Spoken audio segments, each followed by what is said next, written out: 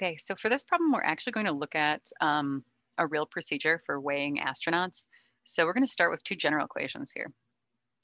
Okay, so we got this guy. This is our period. So this is this big T is time.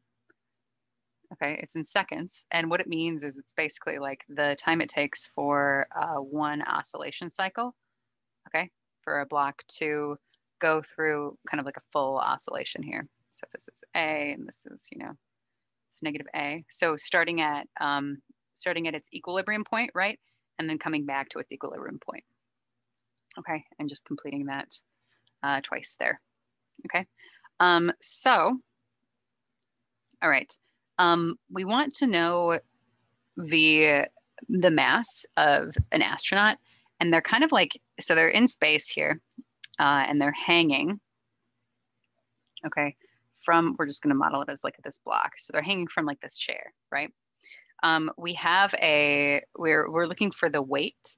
Um, so we wanna find the, the mass of the actual astronauts. Um, so they're, they do this process twice, right? Um, so there's an empty chair. We have the mass of the chair. Uh, it's attached to spring and it's allowed to oscillate, right? So it's, it's moving up and down. So what that means is it's going to start. So if this is its equilibrium position, right? Uh, they're going to um, displace it a certain amount, right? We're going to displace it a little bit here, and then it's going to be allowed to um, oscillate back and forth. Uh, and they're just looking at um, the the uh, the period of that um, oscillation, and we're going to compare the period for both of them. Okay, so this is we're going to say this is empty chair. Okay, and then we're going to do um, like the astronaut. Okay. And then non-empty chair. So,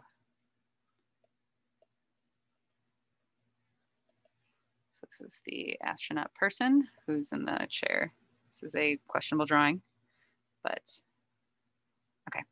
So um, we can, by, by comparing these two, we can look at the difference and then figure out the mass of the second object, okay? Uh, so, um, all right, let's look at our first general equation here. So we're going to put these two together. Um, I'm going to say t is equal to 2 pi, right? Or square root of k over m, okay? Uh, and I want to, um, so that's going to be equal to 2 pi, and then that's going to turn into, uh, if I'm dividing it, it'll be m over k. So this is my general equation. Okay, so we know that when, first off, when the mass is equal to 42 um, 0.5 kilograms, right, for this first one. So this empty chair is 42.5, right? So nothing's in there. Okay, so that's our, our first one. Uh, then uh, the period is equal to 1.30 seconds, okay? Cool. All right, um, so if that's the case, uh, let's go ahead and uh, plug in and solve for the spring constant. Uh, so we have t is equal to 2 pi, right? Square root of 42.5 uh, kilograms, right, over k. Um, so if we just rearrange this here, and we know that our t is equal to 1.30 seconds, we're going to get k is equal to uh, 993 Newton uh, meters here. So just our units. So we have a spring constant, okay? And that's our k for this spring, right? Uh, that's how much it's going to push and resist uh, motion. So that's going to help us solve for the mass of the person. So now let's do this equation again. We know that T is equal to 2 pi times the square root of m over k. Okay, so for the second one, we also have uh, the time for one cycle, so the period here. So we're going to do uh, 2.54 seconds, right? Plugging that in for t. Uh, and then we're going to set that equal to 2 pi times the square root of the mass of the person divided by the spring constant that we just found, right? So this is the one that we just found from the previous step. Okay, so at this point, that's it's really just algebra. Um, so if we just rearrange to solve for our, um, we're going to call this MA for the mass of the astronaut, MA.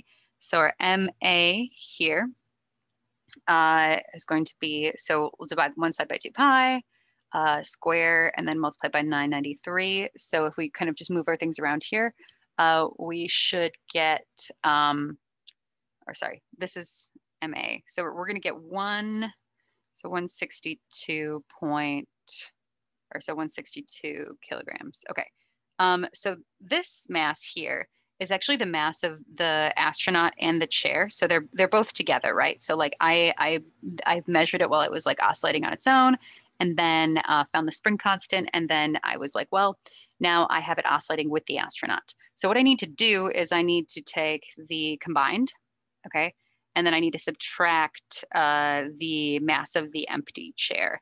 So I need to subtract this m is equal to this guy right here, right? So to figure out the mass, so this is astronaut, I should probably say astronaut plus chair, AC, we'll say AC, and then I'll say MA is equal to MAC, and then we'll call this, I'll call this uh, C. So the mass of the chair, right? For that first one. So MAC minus MC is gonna be equal to the mass of the astronaut. So 162 kilograms, right? Minus uh, 40, 42.5 kilograms, right, is going to give me um, 120 kilograms. Okay, and that's how much my astronaut weighs. And I was able to figure that out because I knew how long it took for it to um, complete an oscillation. Uh, and I was able to relate that to the spring constant and then just solve for the masses and figure out the difference between the two. Okay, uh, so let's move on to a few more complicated questions.